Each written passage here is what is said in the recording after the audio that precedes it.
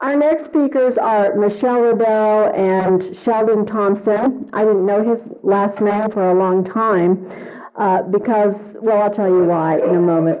Um, first of all, I would like to say that Michelle Ribeiro is really not much older than my kids, and yet I look up to her as my mentor, as my sister, and my friend. She invented the PEN Project as a, an employee, uh, an educator at the uh, New Mexico Penitentiary.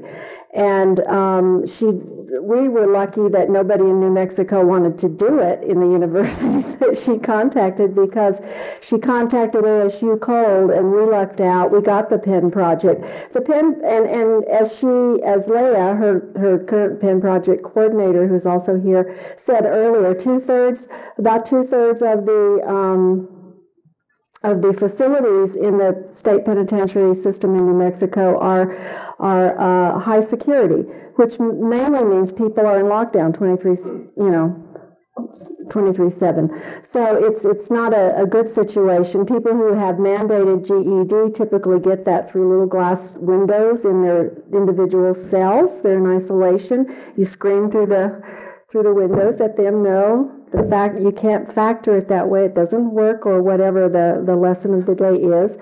And um, so Michelle came up with this brilliant idea for the PEN project, which was to have um, these guys, they happened to all be guys where she was, uh, write about whatever they wanted to in whatever format they wanted to write. Every genre, from uh, from song lyrics to poetry to essays, and they submitted it to us. We had blind readings. We were allowed to know their first names only, which is why I only knew Sheldon's uh, first name for some time.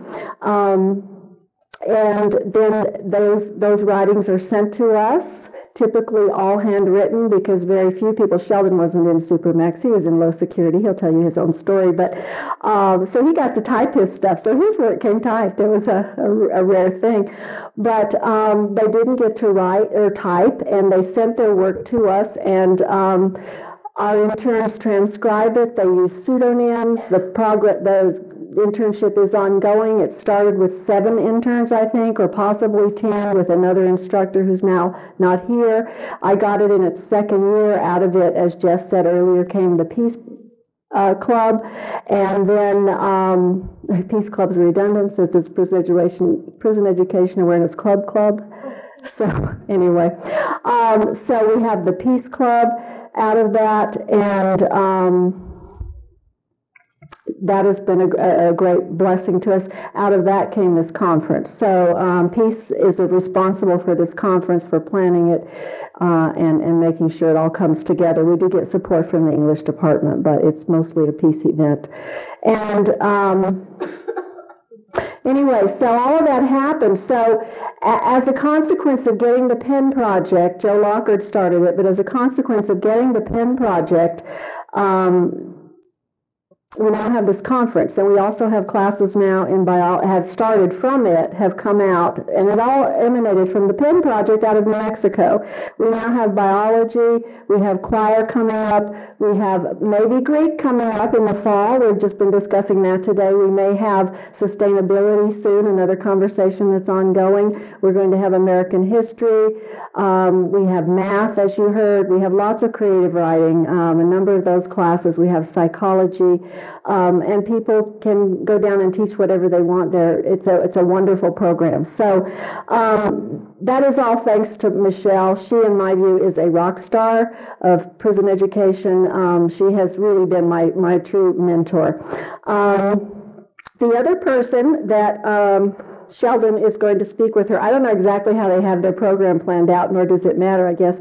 Uh, but um, Sheldon Thompson, I got to learn his name, his last name, when I wrote a letter of recommendation for him after working with his writing for three or four years.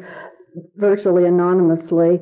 Um, I got to write a letter of recommendation for him when he was going to be released, and it was to the Institute of, American Indian Arts, where he uh, was accepted on scholarship. He's had a couple of his short stories published uh, in their anthology, the 2014 version. Both of them went through the PEN Project. Those of you who are PEN Project uh, interns, former interns who are here, they were Becoming Warriors and Blankets and Bottles, if some of you remember those. Um, and they, anyway, so that was his freshman year there that they were published. He had already written those in, in while he was inside. Um, but my, my own strongest memory, well, I remember those stories too, but my own, um, Sheldon's a rock star too, but he's an he's a reluctant rock star uh, because he's shy like me, and I get that. So, um, what really resonated with me was the very first poem that I he sent into the PEN Project, and he'll probably read his own work, but I'm going to read this one poem, and then I'm going to give the rest of the time to them. Uh, it's called "I'm Still Here, America." Declaration of the unvanishing, unvanishing race often forgotten. My blood is red, and it dances within my veins at the sound of ancient drums. In my arteries flow forgotten laughter, echoing through the canyons of eternity. The reminders of your freedom obtained at my expense curdle and coagulate over lacer- lacerations of greed. Just peel them back to see. My blood is red. Crimson stains white picket fences, whispering instant, insistent taunts. I'm still here. I'll never vanish. While the ink fades from elapsed treaties, my blood remains unwashed, clotting your oft recited patriotic solaces of allegiance. Tell your ch- children my wounded heart thunders its sacred song aloud. My blood is red. It smears the halls of liberty, trickling out from your history pages and flooding Main Street. While tears of my ancestors mingle triumphantly with the virgin laughter of my children, it shall never be stopped, for my blood is red. So I give you the poet they are both poets. Mark read Michelle's poetry this morning. I give you these poets to speak to you now, and storytellers, poets and storytellers both. Thank you.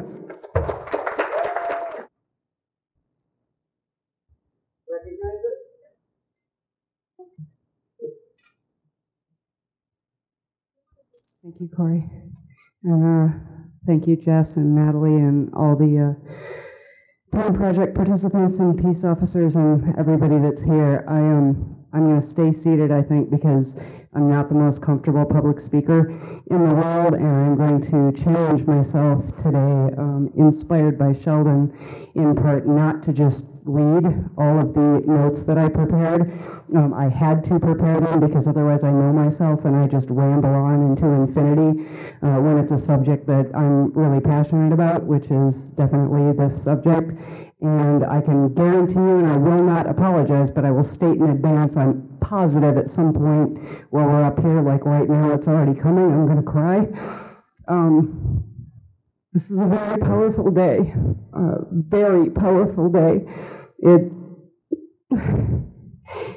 years ago, um, I started in this work because my aunt took me to Alcatraz when I was 10, and I walked in Alcatraz and um, I thought it was silly that she was taking me there on vacation. Is you taking me to a prison? What? You know, it doesn't. And uh, it changed my life. We never know sometimes what's going to change our lives and, and how. And um, I was horrified, thinking, "What do you mean people live here for years and forever and what?" And I was ten, and I very clearly remember trying to come to grips with that, and it started everything. Um, a lot of my research and work in college, and I had experience with an individual that was almost incarcerated for life here in the state of Arizona because of uh, mandatory sentencing, and eventually justice was served, and he should not have been incarcerated. He was caught in a wide net, and it was a sex offender issue because of a relationship he had had um, with somebody that was one year younger, but he was an adult, and it came to light later on. Um, but it once again got me thinking about criminal justice issues and reform. Um, and that eventually led me to the Penitentiary of New Mexico back in 2008. And uh, here we are now. So when we launched the PEN project in 2010, late 2009, 2010, um, Sheldon was one of the original participants. And um, he was at the lower security facility and was able to get to know him a lot better than some of the other PEN project participants because I did a weekly writing group there um, for years. And very early on, the faculty member that, that started the first English 484 um, internship, Dr. Sherry Rankins Robertson, I remember very clearly saying to her, and I believe I said to Donna, who you heard on the panel, um, this is one of the most talented writers I have ever come across, have ever had the pleasure of working with, and um, someday I think something is going to go beyond this prison, you know, with that. And uh, here we are. And yesterday, driving here, um, we had the honor and privilege and mind-blowing experience of actually pulling the car over and listening to an interview that we both gave NPR, Arizona NPR, two days ago, listening to that live. And um, wow, so um, the star of the show is definitely Sheldon and his work. He's going to read three pieces and he's going to uh, share most of the time with you. But I did want to say a few things, and I'll pull out notes to make sure I don't totally lose track. Uh, I recently wrote an essay. Um, after I'm retired now from the penitentiary of New Mexico, I resigned um, for reasons, it was conscientious objection um, in many respects, and, and it I think is going to pave the way for me to do other work um, in the future, but it was very difficult to make that decision. Um, so I recently wrote an essay about it called Best of Times, Worst of Times, Reflections of a Prison Educator. And I started with a quote from Dickens' Tale of Two Cities that you'll probably recognize that I think really encapsulates my entire experience working at the penitentiary for seven years.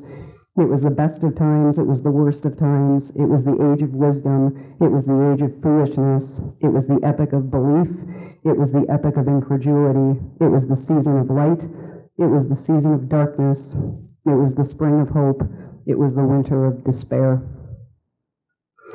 So in the essay, I went on to talk about how the experience working as a prison educator was really as complicated as the issue of mass incarceration itself and how I had never experienced um, such a juxtaposition of opposites um, coexisting of hope and hopelessness and um, cruelty and compassion. And it was a very powerful experience. I talked about it as um, a shadow uh, that I will cast over time um, and it will take the rest of my life, and I still won't be done with it because it just keeps unfolding. Uh, the trauma that Donna talked about is very, very real, and I'm still processing that also. So, having said that, um, I really, in preparing for this conference and thinking about what do I really want to say, what do I really mean, we did that as a writing exercise, I remember once at level two the most important thing that I wanted to communicate, I think, was that all of my worst of times at the penitentiary and in all the prison work I've ever done can be boiled down to um, some kind of absence of humanity, um, absence of humanity, thwarting of humanity, uh, some form of destruction of the human spirit and division between people. Those were my worst of times. All the best of times on the flip side in the prison revolved around enhanced human connection and, and understanding. So, in terms of the worst of times, one of the biggest challenges I faced um, as a prison educator and, and, administrator was an immense institutional pressure, immense institutional pressure to, um, at best, ignore and at worst, deny the humanity of the people that we worked with. Um, and by that I primarily mean the incarcerated themselves. Mm. And yeah, I think, like Donna mentioned before, it's it, systemically, institutionally, it is built in um, that not only are we encouraged to do this, but at some level, we must to survive in the system and be able to continue to do the work that we do. Um, so this gave rise to an ongoing ethical dilemma for as long as I chose to stay there that was faced, um, you know, no less than probably 20 times a day, uh, and sometimes more poignantly than others. Um, so briefly, I'm going to read a flash fiction piece that I wrote back in 2010 specifically to address this issue for a, a graduate fiction workshop that I did at UNM. Uh, it's called And Therein Lurks the Danger. And I'll just say uh, number 045667 is a fictional character, but every piece of data in this story is um, real from the people that I worked with um, up until that point. His number is 045667, and he loves his daughter. He is doing well in prison, so well that tomorrow they will transfer him to an open population facility where he will have more opportunities for socialization and education, more opportunities to prove he has changed and to earn his way back in society, and more opportunities to get stabbed. Being shot in a drive-by is normal to him. He has never heard of an artichoke. When he was six, he watched his father murder his mother in a drunken rage. His father fixed cars and sold drugs. He started getting high when he was 12, right after he joined the gang. His initiation into that gang involved robbery and a sexual assault that was supervised by an older brother who is now in prison for rape. His mother, he kind of remembers her. He dropped out of school in the 10th grade after years of special education classes where he was told to at least look like he was trying. Number 045667 got his GED in prison and just completed his first college course, English 102. He earned an A. Every Sunday, he writes a letter to his daughter and asks her how she's doing in school. When his sister brings Tana for a monthly visit, he's in handcuffs behind glass and cannot touch her. He waits to cry until he's alone in his cell. Number 045667 has not hugged a human being in eight years. When I asked him in class how many people out there on the streets would actively like to hurt him, he laughed and said the number was too high to count. The whole class laughed with him. When I asked how many people loved him, encouraged him, and expected great things from him, he fell silent. We discussed the causes of crime. Number 045667 agrees with Dr. Samenow that we are all responsible for our actions, but he thinks it's a little more complicated than that. It's hard to put into words, he says. I tell him I know what he means. At the penitentiary, we are taught there is a thick black line between ourselves and the inmates, and we are taught to maintain that line. They've done bad things. They're not like us. Many are violent and would hurt us in a heartbeat. At the very least, our charges are lying, thieving cons who will take advantage of even the smallest opportunity, so give them none. Over and over, security is our number one concern. It's true that many inmates are full of rage. Today was our last class together. In front of the group, I told Juan I was proud of all he had accomplished. I see you, I told him. You're an intelligent, hardworking, caring person with many gifts to offer the world. Keep up the good work. Juan told me he would never forget me. He didn't feel like a loser anymore. Now he had something to build on, something uh, he could be proud of, somebody his daughter could be proud of. When the guard came to open the door and we were filing out of the classroom, number 045667 spun around to hug me goodbye. In that moment, I had a choice to make. It involved ethics and a loaded gun pointed at my head. When I was hired to teach at the penitentiary to promote the mission of maintaining security and supporting successful rehabilitation and reentry, I had to sign a document stating my acknowledgement of the ethics policy and the concept of undue familiarity explained as any sort of interaction with inmates not required to fulfill the duties of my job. A violation of the ethics policy is grounds for immediate termination. The trigger was pulled. I did what I was hired to do. Um, I think it's been said in a lot of much more eloquent ways than this many times today, but uh, treating people like numbers or less hurts people. It hurts the people that are incarcerated. It hurts the people that work with the incarcerated. It hurt me a lot. And um, I'm not going to deny people that work in prison, Leah, Sally, um, all of you that have been in prison, there are real dangers to being in the prison environment. That's not to be sneezed at, that's not to be denied. We, if you're in the environment, you must be aware of that um, and deal with it. But that's very different than maintaining and promoting thick black lines. And we're out of whack, we're out of balance, and the balance needs to be shifted. Um, all right, so having said that, I'm going to turn it over to Sheldon. Just one more thing. Um, one more example of a loaded gun pointed to my head.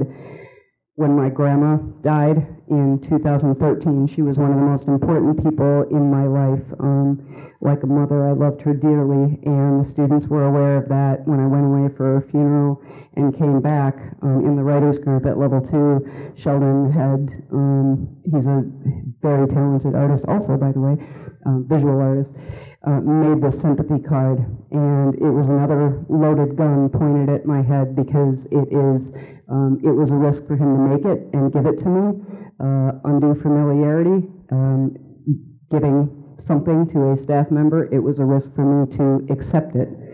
Um, it was one of the few times working at the penitentiary where I, it was conscientious objection, and I deliberately chose to accept it because PNM has a motto that say, do the right thing for the right reason at the right time, and this accepting it was the right thing for the right reason at the right time because it honored everybody's humanity. And uh, it just so happens to be my grandma's birthday today. She would have been 91, and uh, happy birthday, Grandma.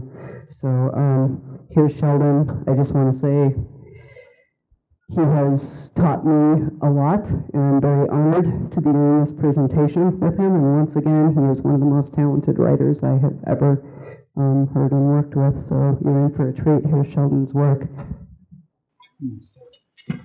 Everyone's been asking me if I'm nervous, and I'm nervous right now. um, when I was in prison, I was part of a program called Project Echo. And in this program, we went through a 40 hour training and we learned everything we could about communicable diseases Hep C, MRSA, AIDS. Uh, we also learned about addictions. And once this uh, training was over, once a month for a week, we'd have uh, Echo Week, and we'd invite inmates in, and uh, so we'd teach all these facts to them. And that's where I learned to get over my fear of public speaking. But uh, this is something else. I'm not used. I'm only used to a crowd of nothing but men and oranges. so uh, bear with me. The first piece I'm going to share is called Honest Compromise, and it's a short story. It's the shortest story I could find in my collection. I'm approaching the bus stop. A Hispanic woman sitting there alone. She's the most gorgeous lady I've seen in a long time, too long. She's young, around the age I was when I left. Her smooth legs glisten in the summer afternoon sun extending from high denim shorts, one ankle resting over the other. The kind of legs I let walk all over me. Lucky me. Stretching my best smile across my perspiring face, she's the mo- the corners burrowing themselves deep into my cheeks. I take my seat at the end of the bench. She doesn't notice. I'm the new kid in class again, taking my seat next to the prettiest girl, completely invisible.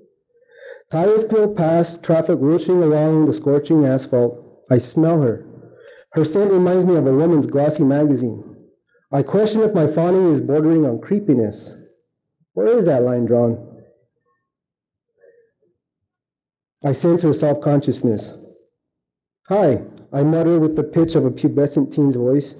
I clear my throat. Hi. She pulls herself upright, flashing me an obligatory smile. Hi. Her voice drips a single, single maple syllable from her carnation petal lips.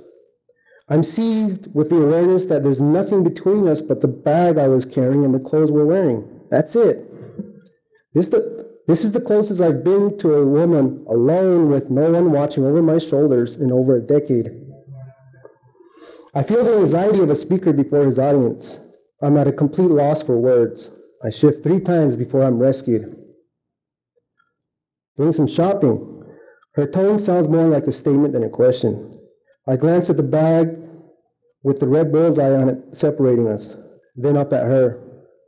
Those hazel orbs behind her wide eyelids make it easier for me to resist staring at her deep cleavage.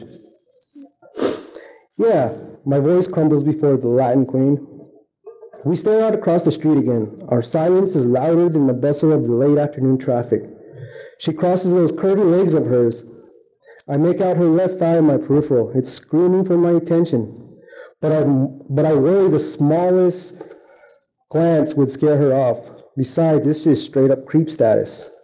I resist the urge. What the hell's the matter with you? Think of something to say, you fucking weirdo. Something interesting, funny, intelligent, witty. Anything to keep her talking, dumbass. I got a job. So much for witty. A bewildered and expectant look appears on her face.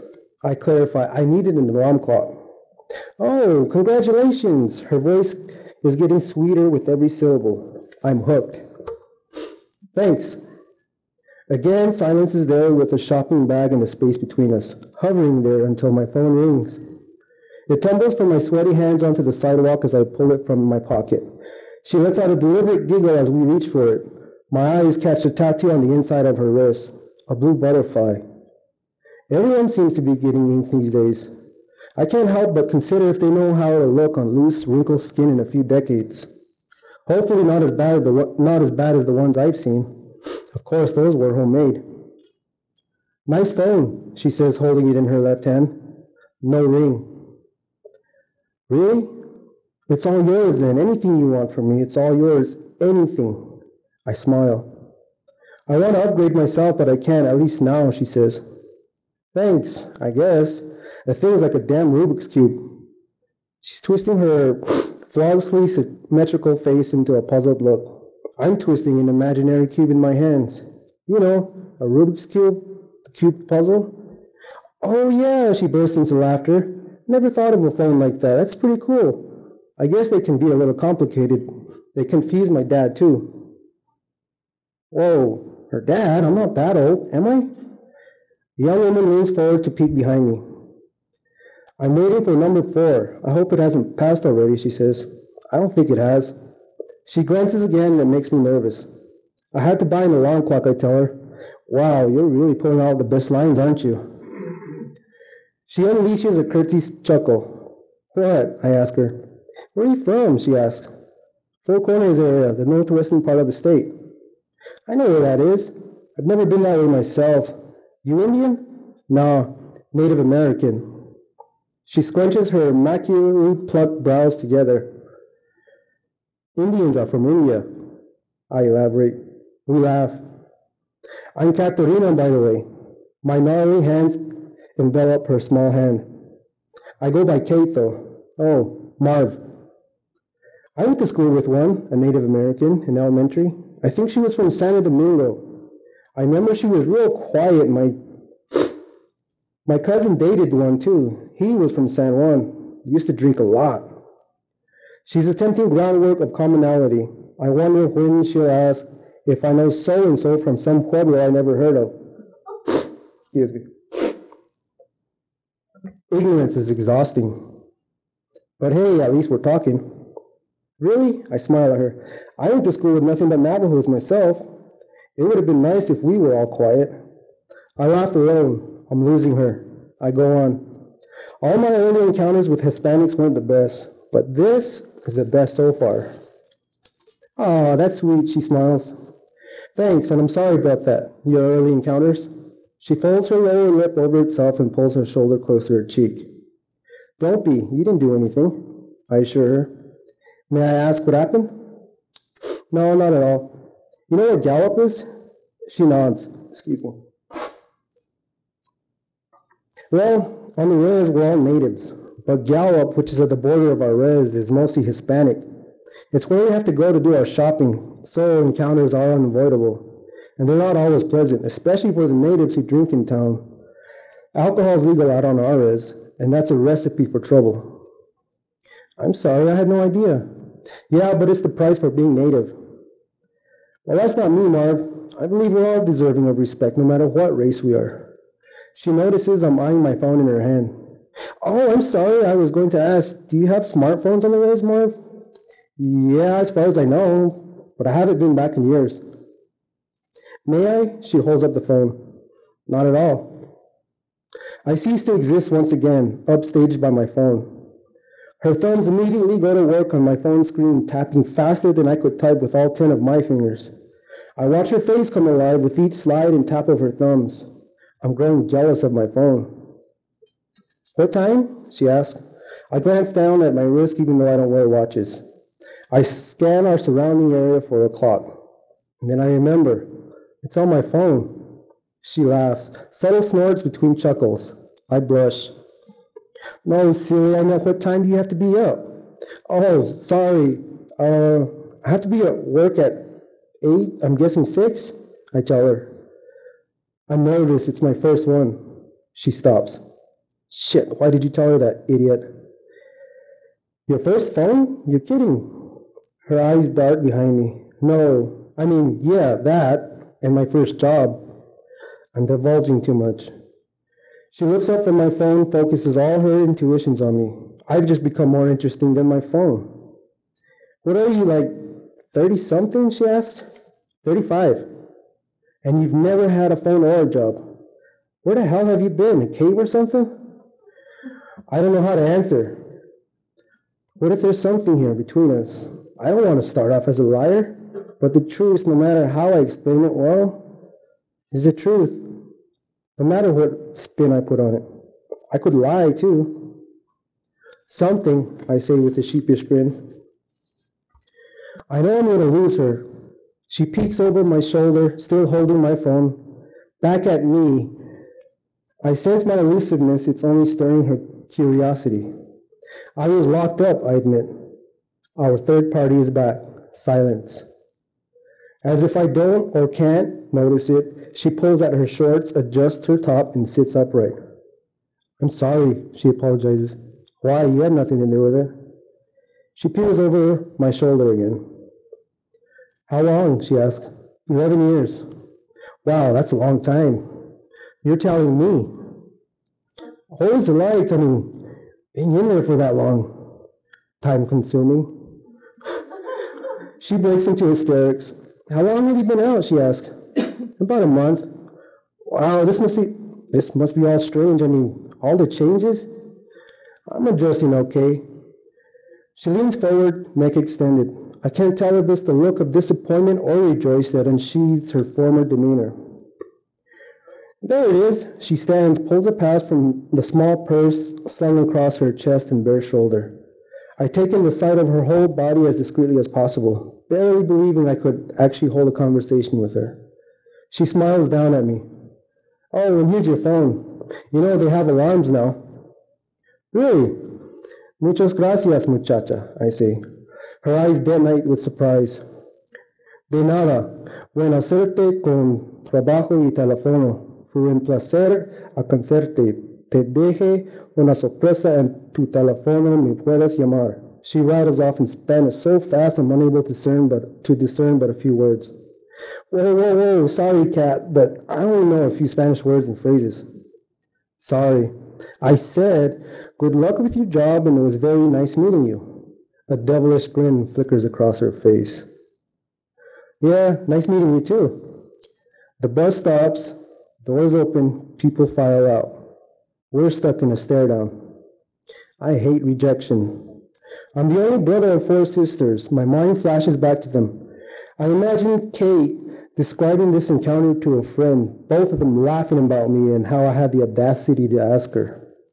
As if she would even consider the likes of me with her. I tell myself it's a sad thing when we men misinterpret a woman's kindness for more than it really is. One more thing, Marv.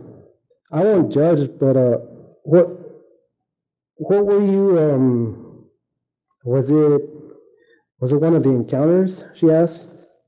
I nod. I'm petrified. My mouth opens, but no sounds come. I can't even bring myself to say her name. Hey, she stops with a glance over her shoulder. Just do it, dummy. I go for it as she turns away. Cat, can I get your number?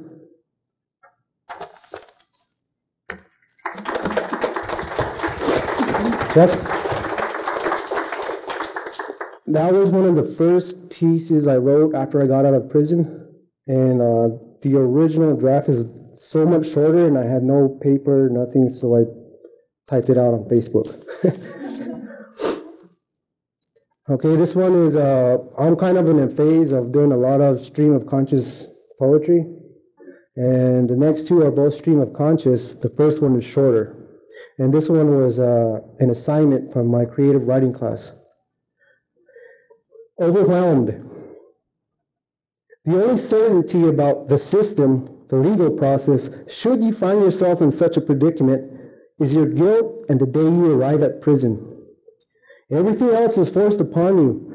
Your choice in the public pretender that represents you, the sentence you receive, what prison you'll be serving your time in, your cellmate, the food you eat, your wardrobe, whether or not your, your phone calls will go through, if they'll even get accepted, when mail will arrive, again, if you're one of the fortunate ones who gets mail, and finally, the day you leave.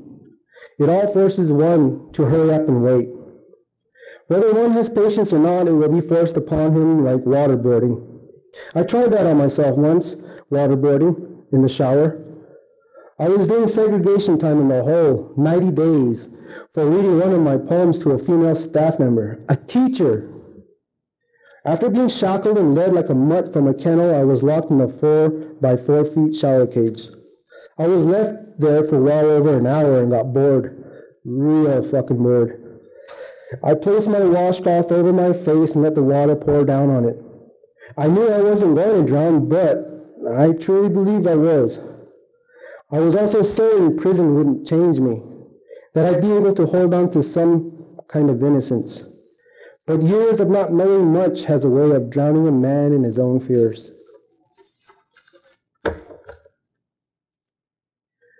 This last piece I'm going to read, again, like I said, is uh, Stream of Conscious. And uh, it, I called it uh, Title Unnecessary. It speaks for itself. I'm eavesdropping on rare stories, gossip, and the usual bitching from self entitled men stuck in popularity contests. And I don't just mean the inmates. One, one upmanship is a rite of passage for little men with big egos. I can't help but chime in from time to time. I've got to try toppling others from their podium, but I should talk. All these little men could probably kick my ass. I'm a terrible fighter and an even worse lover. Just ask my ex and her boyfriend. I'm listening to all this in search of my next story. I have to top my previous ones, can I? I always feel I won't be able to, which makes me wish I hadn't written so good so early in my writing career. Does that sound arrogant of me? Maybe too haughty? I'm working hard at perfecting humanity, an endeavor I'm real proud of. I like to think I'm just self-confident, self-assured, and, and self-assured in my abilities as a writer. There exists a fine line between self-confidence and megalomania. Anyway, I set the bar too high. Now I'll spend the rest of my life working hard to clear the high bar of my own creativity. Practice, practice, practice. Write, write, and write some more. On the 13 inch TV across from my bunk, where I'm sitting in this minimum security prison, there's a naked couple timid, timidly struggling to catch their dinner. Discovery Channel.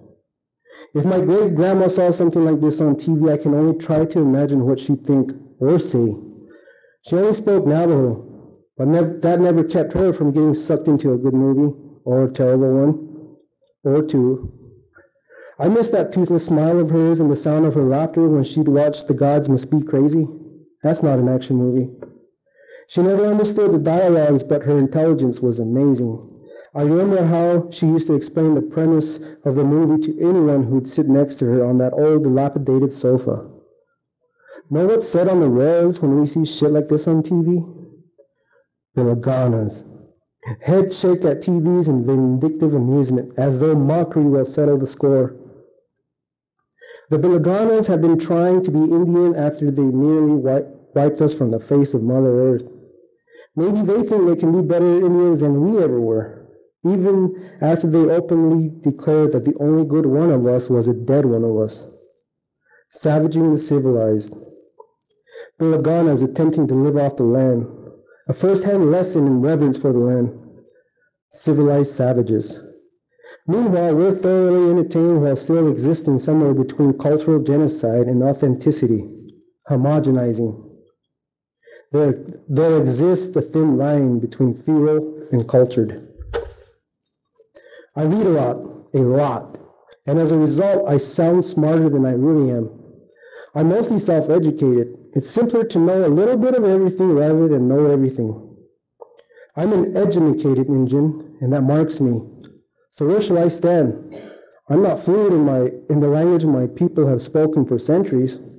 My foreign grammar, on the other hand, which, if you haven't figured it out by now, is English, far excels my people's indigenous tongue. Guess that makes me a paradigm of the overwhelming successes of assimilation.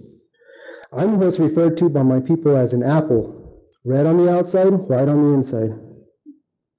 I hop between worlds in pursuit of convenience and acceptance, or when I've been exiled by either. Speaking of, I should move along now. I make for a more difficult target when I'm constantly on the move. A nomadic existence. Gotta keep moving. Can't be a sitting duck.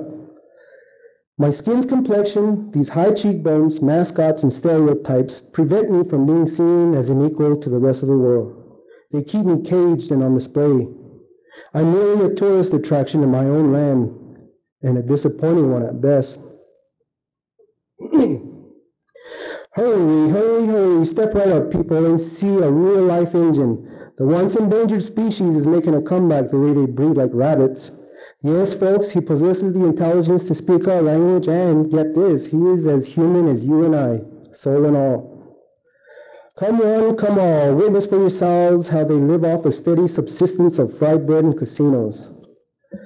Ladies and gentlemen, we graciously offered them Christianity in exchange for their rich land.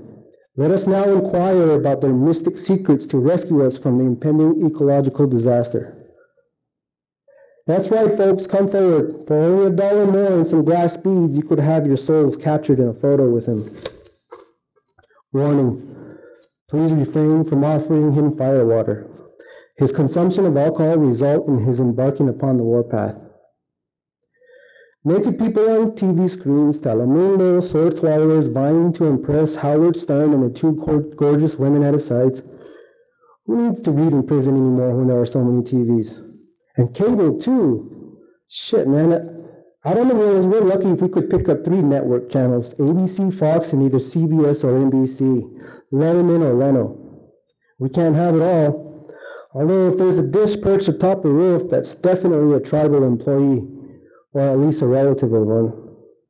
In here, in prison, I utilize my time watching TV, drawing, writing, reading, working for pennies, and getting lost in the wilderness that is my mind. The latter two accompany one another. They feed off one another. They're cannibals, stinking savages.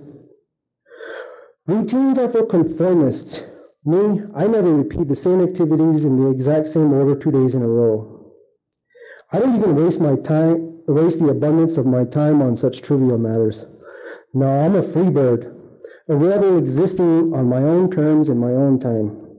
No one tells me how to live my. Oh shit, it's head count. 63887, Thompson. Yes, sir, I won't hang my towel over my bunga dry again. Thank you. All right, where was I? Story, that's it. Here she comes. I can see her gracefully strolling along the sandy beaches of my imagination. She's heading in my direction. She flirting with me? I can never tell when someone is. I'm perceptively challenged. I have hundreds of exes out there I never dated. Did I forget to mention I'm a Southwest Indian too? Dene, which translates to the people. That's right, I'm a desert dweller. That might explain my fear of large bodies of water. I can't swim, but I need to get my feet wet. I have to take the plunge. Wait, not yet. The water's still too murky. I can't rush story. I've got to coax her gently, patiently, like stealing a wet dream. If I don't, she'll flee like one too. She'll arrive when she's ready. Hmm. What about a poem instead? About what though? Conversations I have at work? Wait a minute. But I clean prison administration. Hold on. Wait a minute. But I clean prison administration toilets, scrubbing away bigwig shit. So who the hell have I been talking to all this time?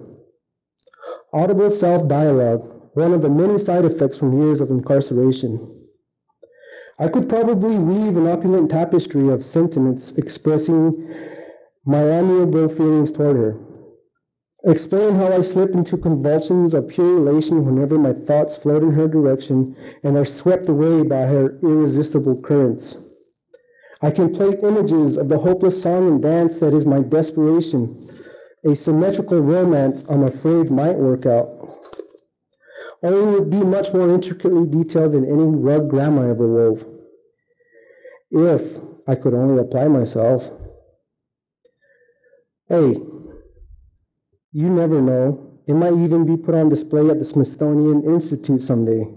A priceless Aboriginal Southwest masterpiece. Eh, love poems are cliche, done a million times over, and then some. My work has to stand out above the rest, distinguish itself like a tribal politician, announcing itself to the outside world, full of promises, promises, promises never intended to be kept. Anyhow, would she mind? My muse, that is, not grandma. She's way smarter than me, you know, elusive as a fading memory. She intimidates me too. Yeah, I've no way to compensate for her superior intellect, no way to catch her attention and keep it. Admire from a safe, mutually agreed upon distance is all I'll permit myself. Now that's the story of my life. I never would have met her if I didn't end up in here, in this warehouse. So does that make all the pain I inflicted upon others worth it? That's a pretty shitty trade-off if you really think about it, isn't it? Even if the encounter is short-lived. At least that's my opinion. It is another fine example of things we never dare consider for a dance with bliss. Grandma, on the other hand, wouldn't have minded. She's dead now. Diabetes and a bad heart. Grandma never fully recovered from commodity food and boarding schools. She wore those scars like prison tattoos. I'm Googling my past, scrolling down the headlines of my personal history. I'm getting my hands dirty digging up the foundation of the house I've become.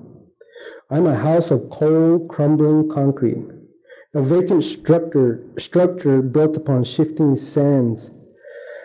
I'm an uninhabitable, placating palace of mute memories. Only transients pass through nowadays, my beautiful squatters. Sometimes I can't help but ponder WWJD. If he were here, that is, what would Jesus do? I like to think he'd showcase me on the popular TV series Extreme Home Makeover. I'm talking about a total demolishment and do over from the ground up, complete with ex- aesthetically pleasing lawns. Of course, it'd be zero landscape. We're in the middle of a drought, remember?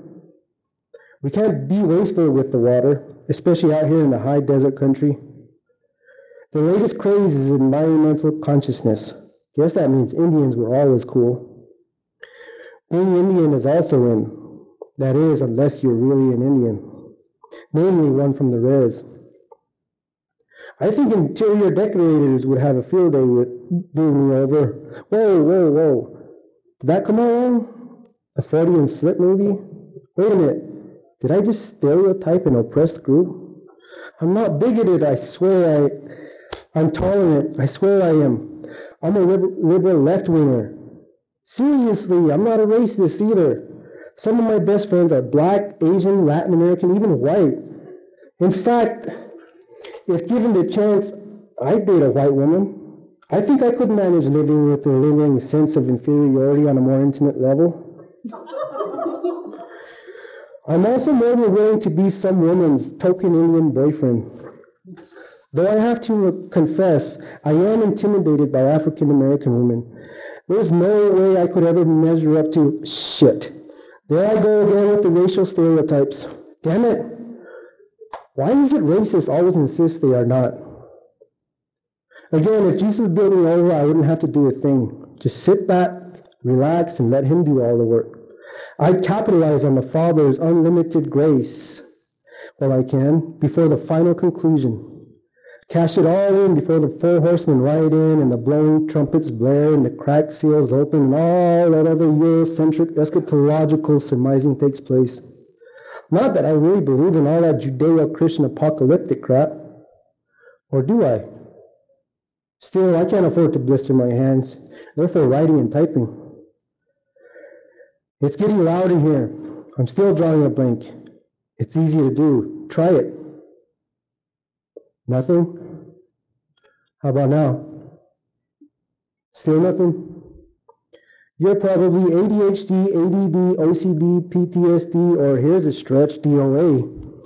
It seems everyone else is, not to mention myself. It's the latest trend. That and any other abbreviated medical, medical condition that'll solicit sympathy is, preferably one from the DSM 5 handbook. Now that's the jackpot. Me, I'm any one of those conditions or combination of them on any given day. Just chuck, chuck all that up as just another unique quality we all have in common. Embrace it and run with it. I guarantee you the pharmaceutical companies do. By the way, have you taken the time to hug yourself today? God, I'm such a fucking liberal. An Indian trying to be a hippie. Now that's a concept for. Now, how's that concept for a mind fuck? Wait a minute. How about the dude always reading his Bible over there? There's got to be a story there somewhere. Like, for example, a man on a long road out of perdition. I think there's a story here after all. I could create a character loosely based on him, except my character will be an oppressed prisoner on his quest for truth and justice. But whose truth? His? The system's? Which Abrahamic offshoots truth? The Calvinist? Maybe? Well, whosever truth prevails has got to be able to stand up to mine. At least that's my truth for now. Up it inconveniences my life, that is. I've met so many guys like him in the decade I've spent in here. They pore over those leather bound broadleaf pages, filling their heads with subjective interpretations, believing God's Spirit is whispering absolutes into their spiritually attuned ears, the kind bestowed upon members of specific denominations. Christianity has been waiting on this guy's calling for over 2,000 years. That's how God, that's how picky God is.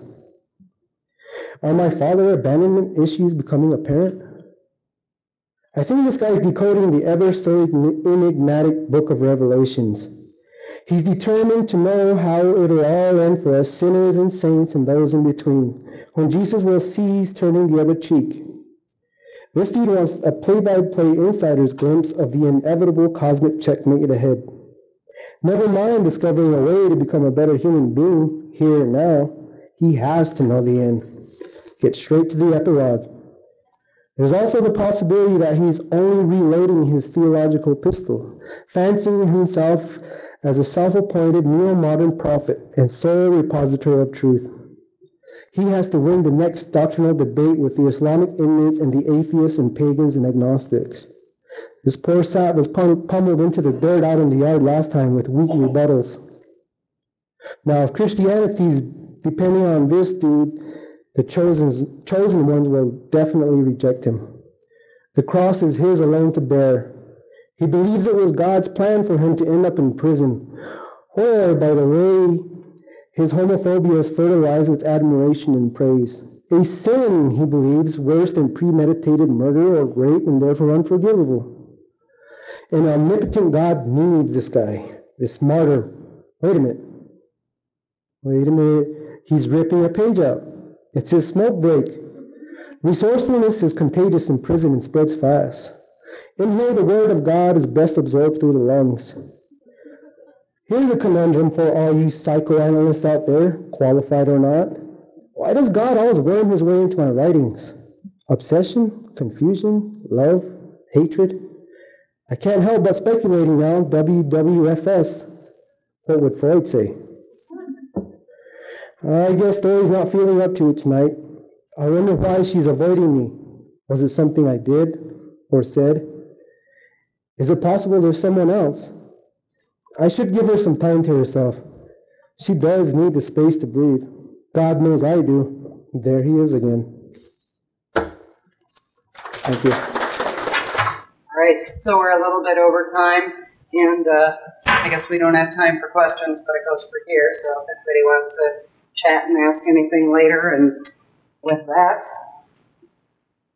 thick black line, we're done. So, thank you, everybody.